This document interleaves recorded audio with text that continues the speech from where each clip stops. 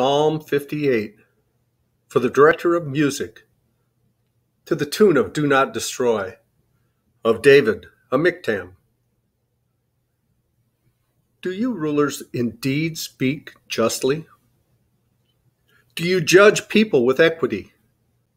No, in your heart you devise injustice, and your hands mete out violence on the earth.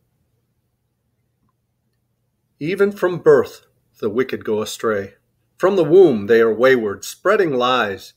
Their venom is like the venom of a snake, like that of a cobra that has stopped its ears they will not heed the tune of the charmer, however skilful the enchanter may be.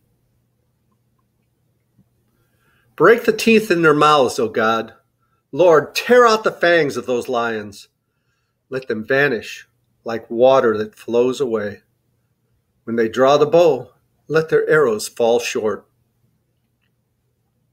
May they be like a slug that melts away as it moves along, like a stillborn child that never sees the sun.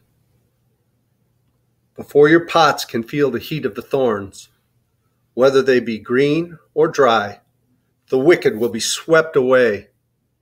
The righteous will be glad when they are avenged, when they dip their feet in the blood of the wicked. Then people will say, Surely the righteous still are rewarded. Surely there is a God who judges the earth.